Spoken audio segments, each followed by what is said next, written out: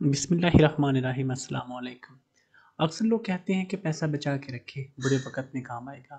मगर अल्लाह वालों का कहना है कि अल्लाह पर यकीन महकम रखे, बुरा वक़्त ही नहीं आएगा। या अल्लाह, हमारे दिल को मुनाफ़त हमारे अमल को दिखावे और हमारी ज़ुबान को झूठ से पाक कर दीजिए।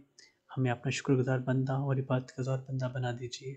रब्बुल ज़िंदगी किसी पल में तनहा ना छोड़ना और हर पल हमारी मदद करना, हमें अपने सिवा किसी का मोहताज ना करना। आमीन या रब्बल आलमीन।